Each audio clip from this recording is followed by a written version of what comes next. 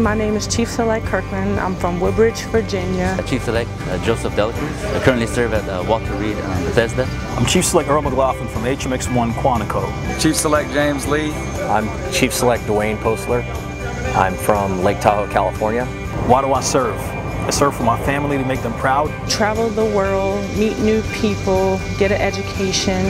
I serve for my country. For my family, to give back to the community. For the sailors, I do it for the person that I serve with.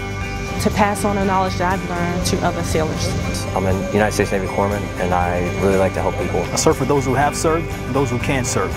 And also serve because I love it. The reason why I serve is so you don't have to.